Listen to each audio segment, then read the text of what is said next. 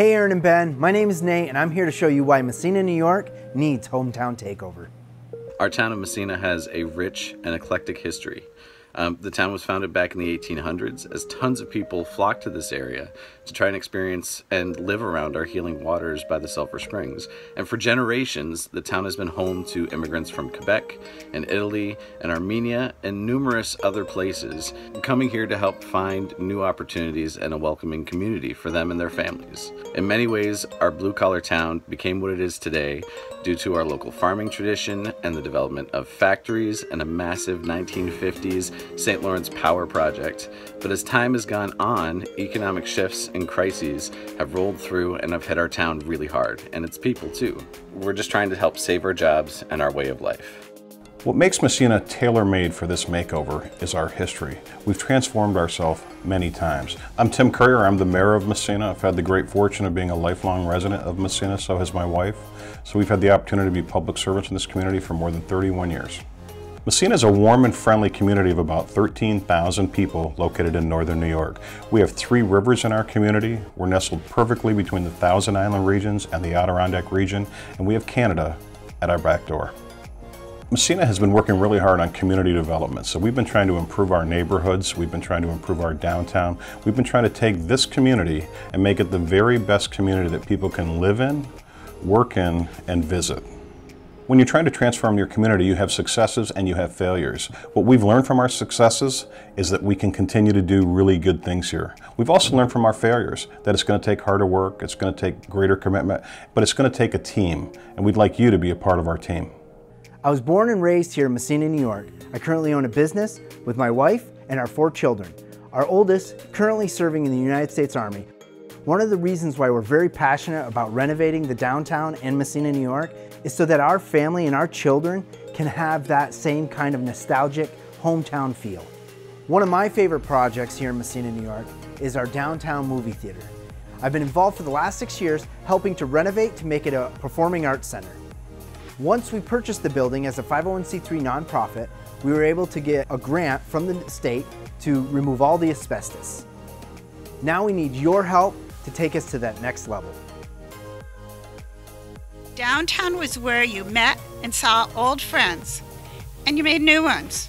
First, it was my parents that would bring me down, and then my brothers got to bring me down, and then when I was old enough, I could come down myself. Downtown can again be the heart of our community. Times have changed. It may not look the same, but it can again be a destination for commerce and events. One of the things that we pride ourselves in Massena, New York is we have that real Americana feel. Main Street has always been a focal point in Massena, New York. As you look through some of these Main Street pictures and what they look like today, we need to bring it back to its former glory. Hello, my name is Amanda Taraska and I'm a kindergarten teacher here in Massena and I'm standing in front of what used to be the prestigious Elm Circle Park. The Elm Street area has some of the most distinct homes in Massena with beautiful architecture. In its day, the Elm Circle Park had beautiful fountains and lots of trees. This picture was taken from my front porch. The First Lady addressed the town of Massena from the former Cook residence. Here's the current view of the home in which the First Lady graced Massena with her presence. Rumor has it, the First Lady even taught someone who lived in my home how to ride a bike right down our street. Elm Street homes are filled with gorgeous hardwood floors and beautiful ornate woodwork.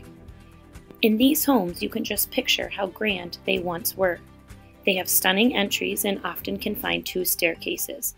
These homes completely fit in with Hometown's vision to find historic homes filled with character that just need a modern update.